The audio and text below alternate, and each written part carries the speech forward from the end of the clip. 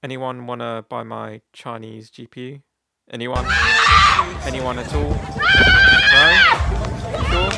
Sure? Well, let's find out if these Chinese GPUs are any good. And I'm going to be running this test with my Boomstar Galax GPU. Now this GPU has 10 gigabytes of DDR6 VRAM, uh, running at a base clock of 1440 megahertz and a boost clock of 1770 um, and memory clock is 2375 so I'm going to be comparing this GPU against the GPU that is exactly the same as this and seeing what the difference is in terms of benchmark performance. So the specifications of this GPU is exactly the same as the Galax Boomstar. Base clock is 1440 boost clock is 1800 and also memory clock is 1188.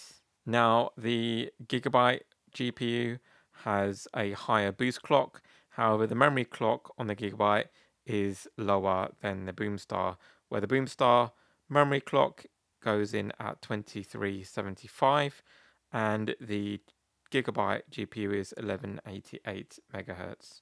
So let's do some benchmark tests and see how they perform.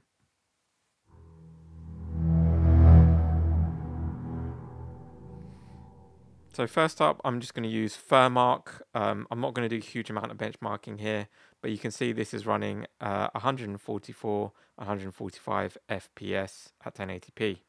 At 1440p, we have 116 FPS, 117 FPS.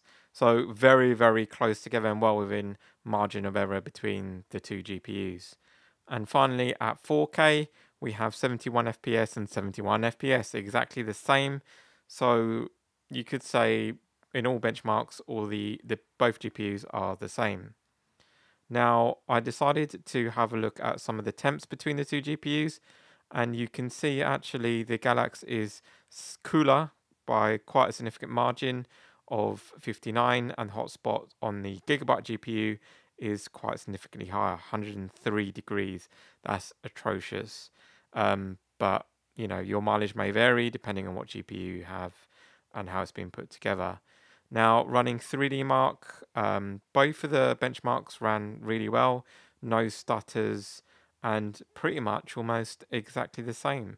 And when we have a look at the scores for both, uh, you can see the Galax GPU has scored slightly higher than the Gigabyte GPU at 4617. Now, when we move on to another benchmark, which is, I think, is a more recent benchmark that 3D Mark has released. Again, both GPUs performed very well and almost the same. However, they test and stress the GPUs in different ways compared to the previous benchmark, which was mainly looking at ray tracing. Now, on this score, you can see actually the Gigabyte takes the lead slightly at 4,378, but the difference again is not huge between the two. Now, when we look at the GPU dies, you can see the dies are in fact exactly the same. So no difference there whatsoever. Look at the memory modules and we can see actually both of them on the same part number, D8BWW. Uh, the numbers at the top, I believe, are serial numbers or when they were manufactured. So the memory modules are exactly the same for DDR6. Now looking at the power delivery, this is where we start seeing some differences between the two.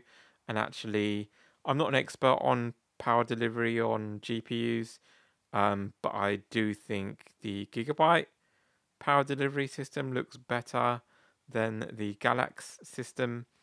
And, you know, your mileage may vary on the reliability. And looking at the heatsink, you can see actually the Gigabyte uses a copper plate and the Galax uses an aluminium plate. Although the surface finish on the Galax is better, but of course copper is better for heat dissipation. Now looking at the cooler, you can see actually there is six um, heat pipes on the Galax and a very similar number on the Gigabyte and of course the heat pipes on the Gigabyte are all aluminium. In terms of actual cooler size, I would say the Galax is bigger um, than the Gigabyte, but again, you know, it's subjective. But you can see on the uh, tests that we performed, actually the Galax was quite a bit cooler. However, you can see the heat the heat pads on there on the Gigabyte were slightly worn down.